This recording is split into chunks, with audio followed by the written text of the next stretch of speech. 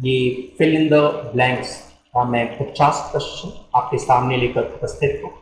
और ये सारे क्वेश्चन ऐसे हैं जो आपके एग्ज़ाम्स के लिए बहुत इंपॉर्टेंट हैं। तो मैंने कोशिश की है कि मैं इन्हें समझा सकूँ आपको जो आप फिल कर रहे हैं वहाँ पे, उसकी वज़न क्या है? उसके पीछे का जो रीज़न है, वो मैं आपको बताने की कोशिश करूँ। और ये फिफ्टी क्वेश्चन हैं, वो सारे इंपॉर्टेंट हैं। तो आप ज़रूर इन्हें तैयार कर लीजिएगा। और इस वीडियो को या अन्य वीडियोज़ को ज़रूर शेयर कर दीजिए, ताकि अन्य बच्चों को भी इसका एडवांटेज मिल सके। अगर आप मेरी और वीडियोस देखने चाहते हैं तो आप प्ले लिस्ट पे मेरी जाइए। अलग अलग प्रकार के तमाम वीडियोस आपको मिलेंगे, जो बहुत ही ज़रूरी है आपके एग्ज़ाम्स के लिए। उन सारी वीडियोस को धीरे धीरे देख कर उन्हें तैयार कर लें, ताकि आगे आप सफल कर तो चलिए शुरू करते हैं। ये सारे क्वेश्चन हैं, जो आप देख रहे हैं एक एक करके साल कर, ठीक? देखिए। ये क्वेश्चन है आपका। Question number one two fifty है आपका। इन द फॉलोइंग क्वेश्चन आप देख रहे होंगे in the following question sentences are given with with blanks to be filled यानी क्वेश्चंस आपके दिए गए हैं, जो ब्लैंक्स के साथ हैं और आपको उन्हें फिल करना है विद एन अप्रोप्रिएट वर्ड या वर्ड्स यानी सही शब्द या शब्दों के साथ। Four alternatives are suggested for each question हर एक के लिए चार ऑप्शन है और आपको एक जो बेस्ट ऑप्शन है, वही आपको चूज़ करना ठीक? चलिए शुरू करते हैं। पहला क्वेश्चन है आपका।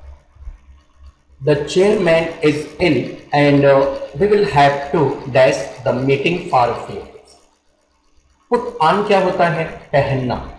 कुछ ऑफ़ क्या होता है? नॉर्मल किसी सेंस में ऐसे नहीं यूज़ होता है। कुछ अवे क्या होता है? बात के लिए बचा करके रखना। कुछ ऑफ़ क्या होता है? स्थगित कर देना।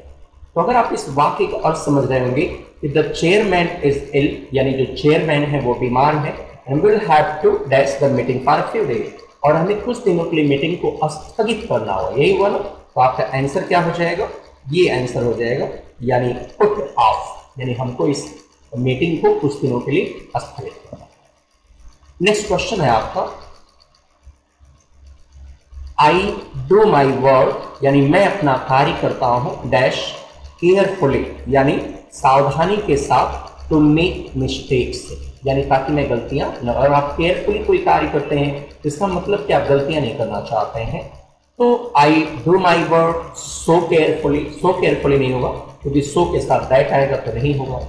I do my work very carefully to make mistakes ये जो टू है ना, ये आपको बाध्य कर रहा है कि आप इसके साथ क्या जोड़ें?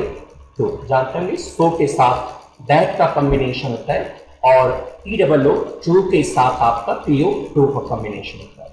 ये जो टू है आपका, ये कह रहा है कि आप क्या लें आप? इस टू का प्रयोग करें तो हो जाएगा I do my work too carefully मैं इतनी सावधानी से अपना कार्य करता हूँ तो मेक मिस्टेक्स कि मैं कोई गलती ना करूँ। ये जो टू होता है, ये नेगेटिव होता है, इसका अर्थ कहाँ आ जाएगा? यहाँ पर आके रुक जाएगा, ठीक है? इसका अर्थ हो जाएगा ताकि मैं कोई गलती ना करूँ। तो आपका आंसर ये हो टू वाला ठीक है? नेक्स्ट क्वेश्चन है आपका।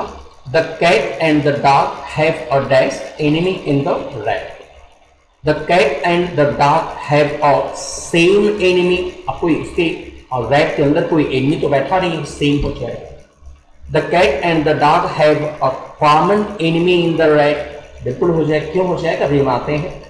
The cat and the dog have a mutual mutual क्या होता है? जो दोनों लोगों से बिलोंग करता वो म्यूचुअल है। अब जो अगर रैट एनिमी है तो दोनों से बिलोंग नहीं करेगा इसलिए म्यूचुअल नहीं होगा। सिमिलर का कोई मतलब नहीं है, समान का कोई मतलब नहीं है। एक्चुअली कॉमन लगेगा यहाँ पे। क्यों लगेगा कॉमन क्योंकि कॉमन क्या होता है? जो इससे भी जुड़ा हो और उससे भी जुड़ा हो, लेकिन दोनों एक दूसरे से न आप जानते हैं, कुत्ता और बिल्ली जो होता है डॉग और कैट वो खुद आपस में एनिमी है। और जो रैट है, उन दोनों का एनिमी है। तो कैट और डॉग ऑलरेडी अलग अलग आपके हैं। इसलिए यहाँ पे आपका बेस्ट ऑप्शन क्या होगा? कॉमन एनिमी अर्थात वो कुत्ते का भी दुश्मन है और डॉग का भी दुश्मन है। लेकिन डॉग और सॉरी डॉग का भी दुश्मन है और कैट का भी दुश्मन है। लेकिन डॉग और कैट एक दूसरे के दोस्त नहीं है। इसलिए यहाँ पे common best answer next question है आपका। He is very good dash making stories ऐसे क्वेश्चन बहुत आपके एग्ज़ाम में आपको दिए जाते हैं और रेगुलरली आपको दे जाते हैं। तो he is very good at making story यानी वो कहानियाँ बनाने में बहुत अच्छा है। आपको लगे कहानियाँ बनाने में, लेकिन आप इन नहीं ले सकते यहाँ पे, क्योंकि गुड एट समथिंग होता है। क्या होता है? गुड एट समथिंग तो he is very good at यहाँ होगा एट मेकिंग स्टोरीज हो जाएगा। यानी यहाँ पे आपको एट का प्रयोग करना होगा। गुड एट समथिंग ठीक है? नेक्स्ट है he told me that he dash watching the movie he told me already past है, फिर उसके बाद जो लेंगे, वो और पास्ट में हो जाएगा। क्या हो जाएगा? He told me that he had finished हो जाएगा? उसने पहले ही खत्म कर लिया था वाचिंग द मूवी किस चीज़ को खत्म कर लिया था? उस मूवी को देखना। यानी he told me that he had finished watching the movie हो जाएगा। यानी आपका आंसर ही हैड फिनिश्ड हो जाएगा, ये बताया नेक्स्ट आपका है the old gentleman dash to be a very good friend of my grandfather यार, आप हिंदी में क्या कहना चाहें? वो जो बूढ़े सज्जन व्यक्ति थे, वो मेरे ग्रैंडफादर के एक अच्छे मित्र निकले। यानी हमें पता चला कि वो हमारे ग्रैंडफादर के अच्छे मित्र हैं। तो टर्न इन क्या होता है? कहीं पर आना, ठीक है? किसी जगह पे आना टर्न इन होना। टर्न ओवर क्या होता है? जानते होंगे, पलटना होता है टर्न ओवर पलट देना होता है। टर्न आउट क्या होता है? किसी चीज़ का पता चलना होता है। और टर्न अप क्या होता है? कहीं पर उपस्थित होना, ठीक है? आप क्या कहना चाह रहे हैं? यानी हमें पता चला कि वो जो ओल्ड जेंटलमैन है, ये जो ओल्ड जेंटलमैन है, ये हमारे दादाजी के अच्छे मित्र हैं। ऐसा हमें पता चला। यानी क्या बेस्ट ऑप्शन होगा टर्न आउट वैसे भी आप जाते होंगे, ये जो टर्न आउट है, इसके साथ to be already turn out to be किसी चीज़ का पता चलना। यहाँ बेस्ट ऑप्शन हो जाएगा आपका टर्न आउट नेक्स्ट क्वेश्चन आपका है it is a dash that young people are inspired by celebrity यानी यह एक लाई है मीन्स झूठ है that young people are inspired by celebrity like वो होता है, जो आप किसी से बोलते हैं वो झूठ होता है, वो लाई होता है। ब्लफ क्या होता है? किसी को धोखा देना चीट करना। मिस्टेक क्या होती है? गलती होती है। और मिथ भी एक तरह से एक ऐसी सोच जो वास्तव में हो नहीं, लोग मानते हैं। तो यहाँ वही है ना इट इज़ अ मिथ यानी यह एक ऐसा झूठ है, यानी वो झूठ नहीं जो आप बोल रहे बल्कि एक झूठी धारणा के सेंस में अगर आप यूज़ करेंगे वह मिथ होता है। यानी मिथ मीन्स एक झूठी धारणा। तो इट इज़ अ मिथ हो जाएगा, ये एक झूठी धारणा है that he young people are inspired by celebrities जो यंग पीपल होते हैं, वो सेलिब्रिटीज से बहुत इंस्पायर होते हैं, यानी सेलिब्रिटीज समझते हैं, प्रतिष्ठित व्यक्ति उससे बहुत इंस्पायर होते हैं। यह एक मिथ यानी एक झूठी धारणा है। आपका आंसर ये हो जाए नेक्स्ट क्वेश्चन है हेड आई सेव्ड मनी जब हेड आई सेव्ड मनी है ना, यहाँ पे क्वेश्चन मार्क नहीं है. यानी यहाँ जो हेड आपका है, ये इफ़ आई हैड के सेंस में आपने यूज़ किया है तो शुद्ध सेंस आपका जो होगा हो जाएगा if I had saved money ये पास्ट परफेक्ट है ना तो अगली क्लास में क्या होगा? वुड है प्लस वर्क के थर्ड फॉर्म तो क्या हो जाएगा? ये हो जाएगा ना आपका आंसर हो जाएगा had I saved money I would have purchased a new car तो कंडीशनर का है, आपको याद होगा। नेक्स्ट क्वेश्चन आपका है। He decided to dash his matric examination उसने अपने मैट्रिक एग्जामिनेशन में फिर से बैठने का निर्णय किया in order to get a high score ताकि वो और बेहतर मार्क्स इसको गेन कर सके। रीराइट क्या होता है? फिर से लिखना। तो फिर से लिखने की बात नहीं कर रहा। है रीअपियर क्या होता है? फिर से उपस्थित होना एग्ज़ाम के लिए रीअपियर सही है। लेकिन आपको ध्यान रखना होगा, अगर आप रीअपियर लेंगे, वहाँ पे इन होना चाहिए। यहाँ पे क्या होना चाहिए था? इसके पहले इन होना चाहिए था, जो कि नहीं यहाँ पे यहाँ हो जाएगा और रीमेक एग्ज़ाम्स को मतलब नहीं है। एक ही ऑप्शन बचा रीडो यानी किसी कार्य को दोबारा करना। तो दोबारा करना चाहता था एग्ज़ाम्स में जा करके इन एग्ज़ाम को दोबारा देना चाहता था, यहाँ पे रीडो जो ऑप्शन आपका है ये best option the police push the people back to make dash for prime minister car to pass यानी पुलिस को, पुलिस ने जो था, वो प्राइम मिनिस्टर की कार को निकलने के लिए रास्ता बनाए पैसे तो नहीं, पैसे तो गलियारा कहते हैं आप। प्लेस रास्ता, स्थान होता है, कोई स्थान तो उसने बनाया नहीं था। एरिया कोई क्षेत्र तो बनाया नहीं था। प्रधानमंत्री की कार को जाने के लिए क्या बनाया पुलिस ने? रास्ता बनाया तो क्या हो जाएगा? मेक वे हो जाएगा। यानी हो जाएगा the police push to the people back to make way for prime minister next question आपका है। A thorough search of the aircraft was carried dash in the airport. अगर आप किसी कार्य को पूरी तरह से करते हैं तो आपको याद होगा कैरी आउट करते करते हैं। कोई कार्य आप पूरा करते हैं यहाँ बेस्ट ऑप्शन क्या हो जाएगा आपका? कैरिड के साथ कैरिड आउट पूरा करना किसी कार्य को.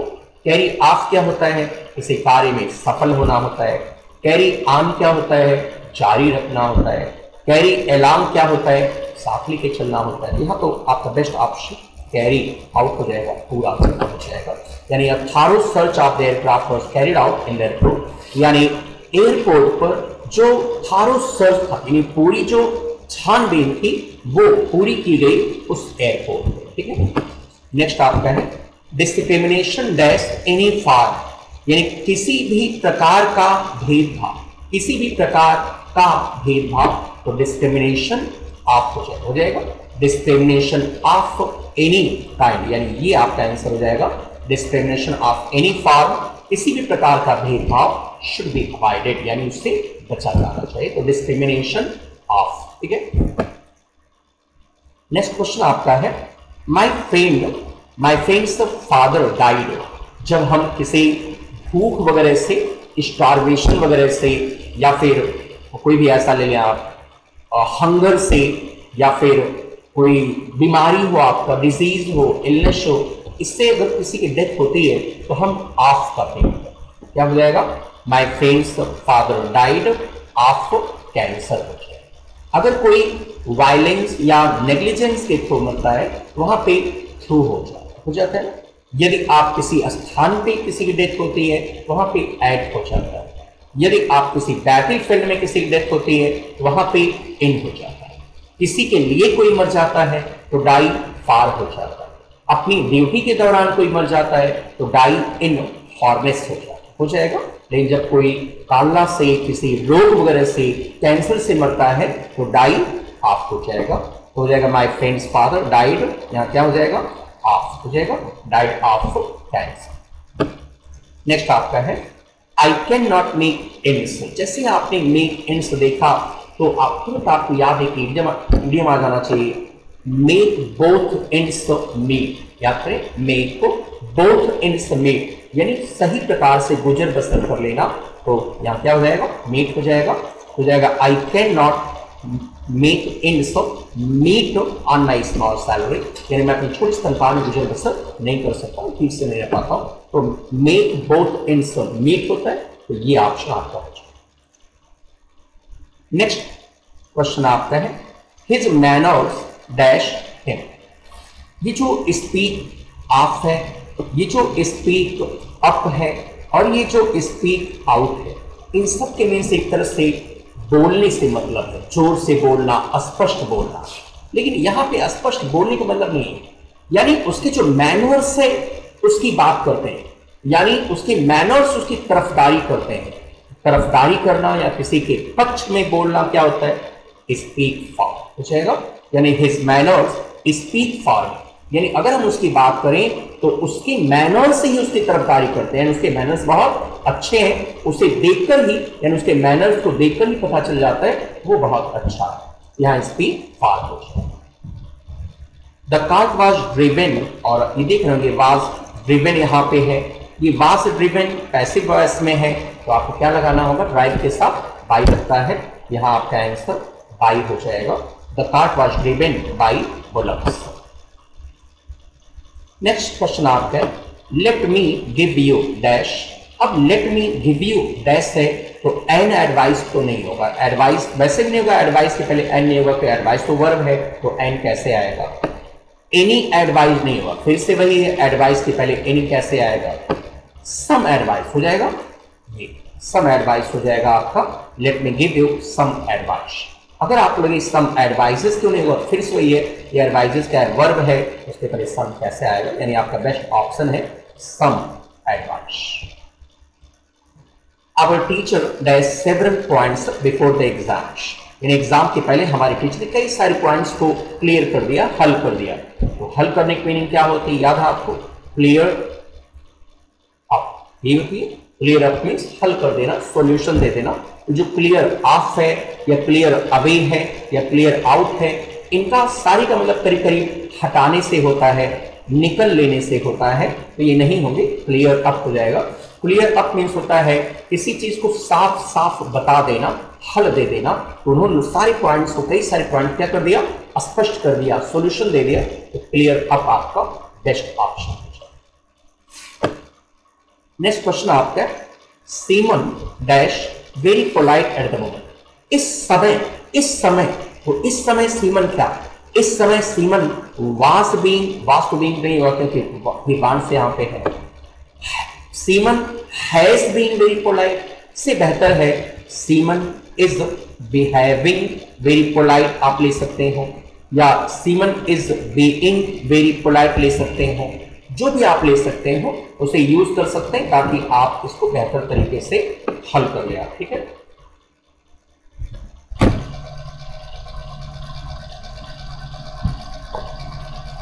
तो अगर आप देखेंगे यहाँ पे कि सीमन इज़ बीइंग ये हो जाएगा। क्योंकि अगर आप लेते हैं सीमन इज़ बिहेविंग जैसा कि हमें लगेगा तुरंत कि हम ये आंसर ले लें तो इज़ बिहेविंग एक्शन वर्क हमारा है। तो फिर यहाँ पे जो वेरी पोलाइट है, वो पोलाइटली होना चाहिए था। इसलिए बेस्ट ऑप्शन होगा। सीमन इज़ बीइंग ये भी हो सकता है और हैज़ बीन भी हो सकता है और हैज़ बीन से बेहतर है इज़ बीइंग आपका। क्योंकि इस समय वो बहुत पोलाइट हो रही है, ठीक ना? यानी Seeman is being very polite at the moment because he wants to make और टू यहाँ पे ही है, यानी सीमन यहाँ लड़के का नाम है। If I don't dash advantage आप आगे बढ़े ना? क्योंकि एडवांटेज हमेशा हम टेक करते हैं तो यहाँ पे आपका जो आंसर हो जाएगा इफ़ आई डोंट टेक हो जाएगा? If I don't take advantage of this platform यदि हम इस प्लेटफॉर्म का उपयोग ठीक से नहीं करते हैं, इसका लाभ नहीं लेते हैं तो then how dare I be a film maker तो फिर कैसे मैं फ़िल्म मेकर बनने की हिम्मत कर सकता हूँ? यानी यहाँ टेक एडवांटेज हो जाएगा, ये ऑप्शन नेक्स्ट आपका है द हेडमास्टर कॉन्ग्रेचुलेटेड राजन ये तो बहुत बार एग्ज़ाम में दिया गया, ये बहुत ईजी है। कॉन्ग्रेचुलेट के साथ याद होगा आपको। जिस किसी को आप कॉन्ग्रेचुलेट करते हैं, वहाँ पे आप क्या देते हैं? आन का प्रयोग करते हैं। और जिस चीज़ के लिए करते हैं, वो फार होता है। तो the headmaster congratulated Rajan on getting the merit scholarship फिर आपका है smallpox has been eradicated easy है। इरेडिकेट फ्राम होता है। जब आप किसी चीज़ को समूल, नष्ट कर देते हैं, वहाँ इरेडिकेट फ्राम हो जाता है। Small has been eradicated from India ठीक है? द पुलिस ऑफर्ड ऑफ़ जब पुलिस किसी को ऑफ़र करती है तो तुरंत इनाम देती है। तो अगर तुरंत इनाम दे रही है, वह क्या होगा? रिवार्ड होगा। अवार्ड क्या होता है? जब किसी को किसी चीज़ के लिए चुना जाता है, जैसे कोई फ़िल्म है या साहित्य का क्षेत्र है, किसी को चुना गया और फिर बाद में दिया जाता है तो वो अवार्ड प्राइस क्या होता है? कोई कंपटीशन वगैरह है, आप उसमें क्या, कोई पुरस्कार जीता है तो आपको प्राइज दिया जाता है। प्रॉफिट क्या होता है? आपने कोई चीज़ खरीदा है, फिर उसे आपने बेचा है, उसमें आपको लाभ हुआ वो आपको प्रॉफिट होता है ठीक है? तो यहाँ पे आपका बेस्ट ऑप्शन क्या हो जाएगा? रिवार्ड क्योंकि पुलिस ऑफ़र और reward for information about the stolen money यदि कोई स्टूडेंट मनी के बारे में बताएगा तो उसे रिवार्ड यानी तुरंत उसे कुछ पैसे दे दिए जाएँगे reward there is no possibility of dash coming late उसके देर से आने की कोई पॉसिबिलिटी नहीं। ये जो कमिंग यहाँ पे ना, ये कमिंग यहाँ जीरन है। और जो बच्चे अच्छे होंगे आप जानते होंगे, जीरन के पहले हमेशा पोजिशन के साथ तो there is no possibility of their हो जाएगा their coming late his friend dash unexpectedly. Returned off. अगर रिटर्न होता तो सही हो जाता। है ऑफ़ कह रहा है रिटर्न ऑफ़ नहीं हो कम बैक भी हो सकता था, लेकिन अगर ये केम बैक होता, तब। इसलिए भी नहीं होगा। गेट डाउन भी हो सकता था, लेकिन गेट डाउन क्या होता? गॉट डाउन होता था। एक ही है आपका पास्ट में, ये टर्न अप जो सही आपका। मैंने अभी कुछ देर पहले कहा था। टर्न अप मीन्स उपस्थित हो जाना, यानी his friend turn up unexpectedly यानी उसका मित्र अचानक वहाँ उपस्थित हो जाए आप पहुँचा या टर्न अप हो जाएगा। नेक्स्ट क्वेश्चन आपके the paper was lengthy comma dash comma we did all the questions the paper was lengthy paper बहुत लेंदी था, इसलिए चूँकि हमने क्वेश्चंस किए तो फार तो नहीं होगा। आपका और लेंदी था, इसलिए हमने सारे क्वेश्चन किए सो तो नहीं होगा आपका। ये हो जाएगा हाउ एवर हो जाएगा। द पेपर वॉज़ लेंदी यानी पेपर बहुत लेंदी था। हाउ एवर हाउ एवर यहाँ पे कोऑर्डिनेटिंग कंजंक्शन इस बात होगा। जो भी हो, यानी फिर भी we did all the questions हमने सारे क्वेश्चन के। हाउ एवर का अर्थ, जब कोऑर्डिनेटिंग कंजंक्शन के रूप में होता है तो फिर भी हो जाता है। और ये हाउ एवर हमेशा क्वामा के साथ होता है। तो आप देखिए, यहाँ भी कामा है, यहाँ भी कॉमा है यहाँ हाउ एवर बेस्ट अगर ये हाउ एवर तो यहाँ पे कामा अगर नहीं होता तो आप दो का भी प्रयोग कर सकते लेकिन कामा की वजह से आपको however if you dash this report by next Friday यदि आपने इस रिपोर्ट को अगले फ्राइडे तक पढ़ लिया होगा you will be able to discuss तो आप डिस्कस करने में समर्थ रहेंगे। यदि आपने पढ़ लिया होगा, यदि आपने पढ़ लिया होगा, कौन सा हो गया? कंडीशनल क्लास हो गई। और कंडीशनल क्लास में आप जानते हैं विल शेल नहीं लेंगे। जो फ्यूचर परफेक्ट है, वो प्रेजेंट परफेक्ट में कन्वर्ट हो जाएगा। तो इफ़ यू क्या हो जाएगा? प्रेजेंट परफेक्ट में ये हो जाएगा। If you have read this report by next Friday next आपका क्वेश्चन है सैम एट केक है ना? ये पास्ट इंडेफिनिट है, क्या हो जाएगा? डिडंट अब डजंट ही तो कहीं नहीं होगा, डोंट ही कभी नहीं होगा इजंट ही कभी नहीं होगा। यहाँ पे एक शब्द जोड़ दिया जो ही जुड़ जाएगा, ये डिडंट ही, अभी ऑप्शन आपका सही है, यानी डिडंट ही सही हो गया तो यहाँ आपका ये ऑप्शन हो जाएगा, डिडंट ही। फेट स्माइल्ड ये कई बार क्वेश्चन आपको दिए गए फेट स्माइल्ड जानते हैं या आन का प्रयोग होता है। जब आप किसी को देखकर उसका मज़ाक को उड़ाने के लिए करते हैं तो स्माइल एड का प्रयोग कर सकते हैं या पॉजिटिव में भी ले सकते हैं।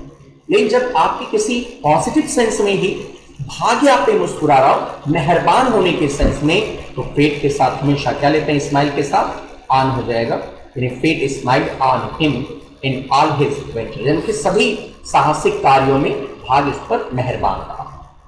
नेक्स्ट है don't put dash until tomorrow कोई कार्य कल पे आप नहीं टालिए what you can do today जो आप आज कर सकते हैं तो जानते हैं, टालना किसके मीन्स हो जाएगा? पुट ऑफ़ हो जाएगा पुट ऑफ़ मीन्स टालना स्थगित करना होता है। नेक्स्ट क्वेश्चन आपका है द रिपोर्टर है the reporter dash for a while before asking his next question अगला प्रश्न पूछने से पहले रिपोर्टर क्या क्या एब्सटेन किया होगा, परहेज किया होगा? नहीं ना एब्सकॉन किया गया, किया होगा, भाग गया होगा, नहीं। डिबेट किया उसने अगला प्रश्न पूछने से पहले, बहस की, नहीं। उसने अगला प्रश्न पूछने से पहले वो थोड़ी देर के लिए, कुछ देर के लिए क्या किया वो? हिचकिचाया यानी अगला कुछ ऐसा प्रश्न रहा होगा, जिसको पूछने से पहले वो थोड़ी देर के लिए हेजिटेट किया। ये आंसर आपका best option last December the mercury had dash two two degree Celsius in New Delhi यानी नई दिल्ली में पिछले साल दो डिग्री सेल्सियस तक मरकरी चला गया। जब कोई चीज़ डाउन हो, नीचे की तरफ़ जाती है तो क्या कर रही है वो? डिप कर है ना? डिक्रीज क्या होता है? किसी चीज़ की साइज़ वगैरह कम हो रही हो? रिड्यूस क्या होता है? किसी चीज़ का दाम वगैरह कम हो रहा हो? लोअर क्या होता है? कोई चीज़ ऊपर से नीचे जा रहा हो। लेकिन अगर किसी चीज़ का तापमान या टेम्परेचर अगर डाउन हो रहा होता है, नीचे जा रहा होता है, हम क्या लेते हैं? डिप का प्रयोग करते हैं। यहाँ हो जाएगा last December the mercury had dipped two two degree Celsius in New Delhi next question आप है the train is arriving dash platform number four आप जानते होंगे किसी स्थान पे आने के लिए अराइव एट का प्रयोग करते हैं। यहाँ ये आंसर हो जाएगा the train is arriving at platform number four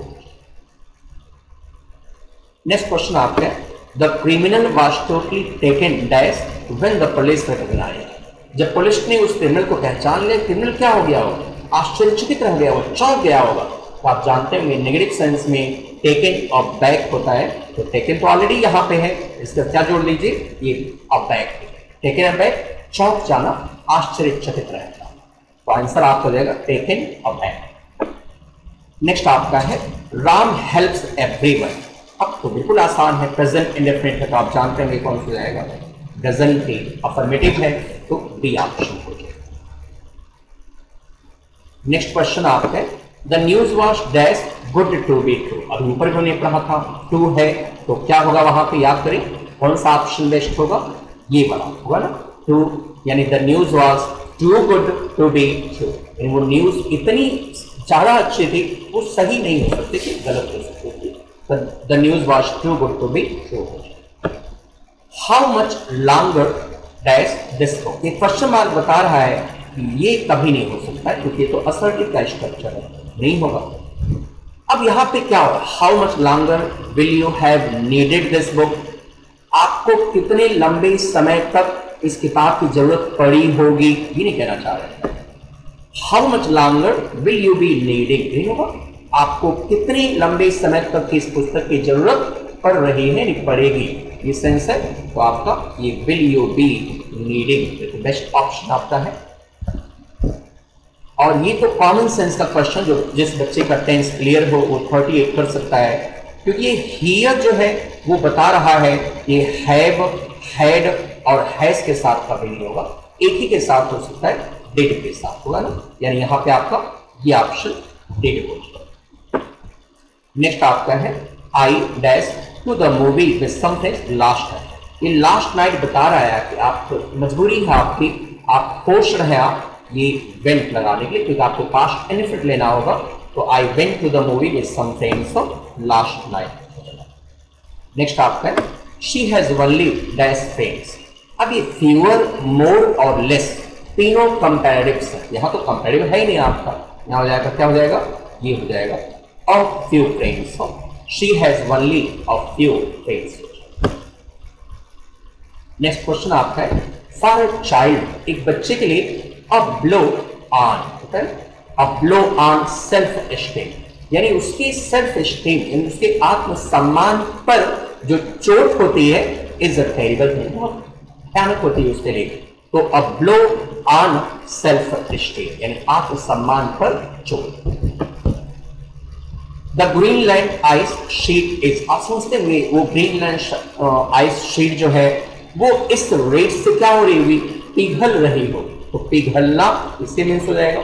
melting हो जाएगा ये जो कंडेंसिंग और फ्रीजिंग है, ये तो जमने के सेंस में है और गहन होने के सेंस में है। स्मेल्ट पिघलाने के सेंस में, जबकि पिघला नहीं रहा है, ये पिघल रहा है, इसलिए ये ऑप्शन आपका बेस्ट हो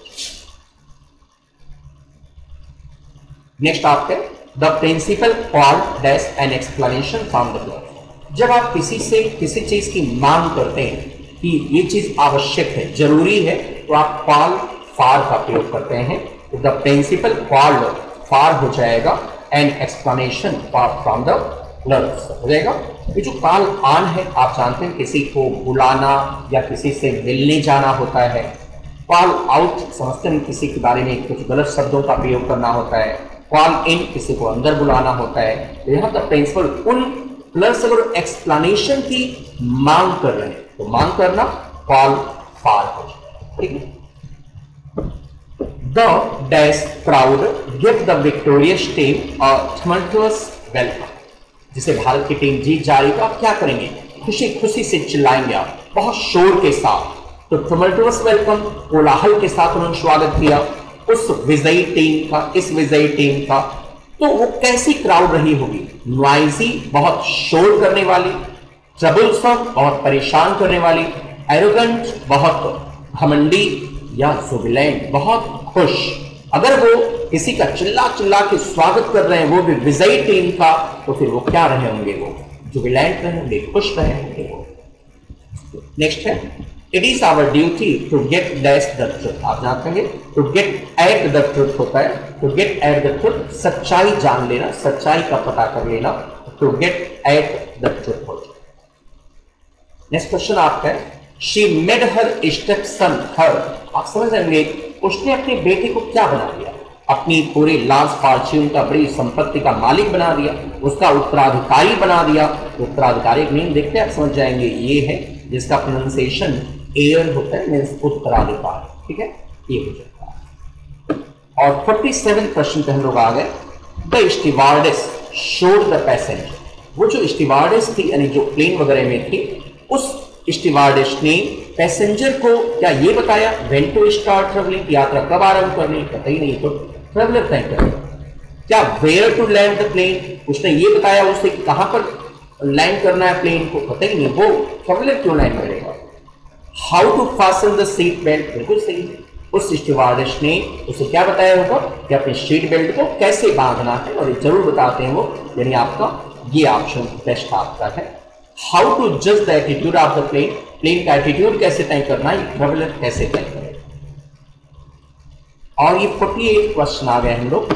मैनी पीपल रिपोर्टेड डैश और नॉइस इन द नाइट कई लोगों ने रिपोर्ट किया कि पिछली रात उन्होंने एक शोर सुना था, एक शोर सुना था।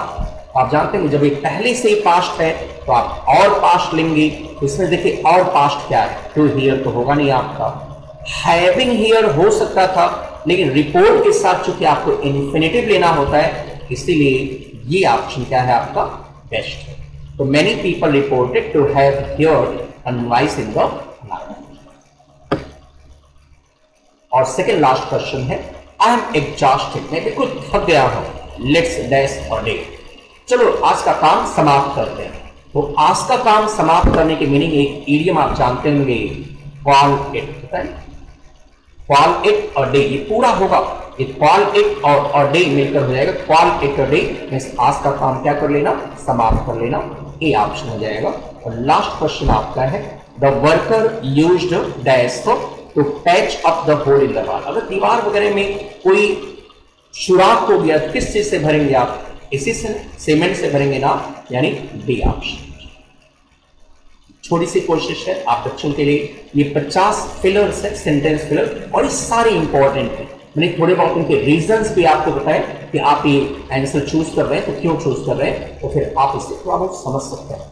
मैं अगली सीरीज़ भी इसकी दूँगा आप मेरी प्लेलिस्ट में ज़रूर जाइएगा, ज़रूर देखिएगा। बहुत सारी अच्छी चीज़ें वहाँ आपको मिलेंगी। और प्लीज़ इन वीडियोस को शेयर कर दें लाइक कर दें कमेंट कर दें और शेयर ज़रूर करें, क्योंकि ताकि अन्य बच्चों को भी इसका फ़ायदा मिल सके। Okay thank you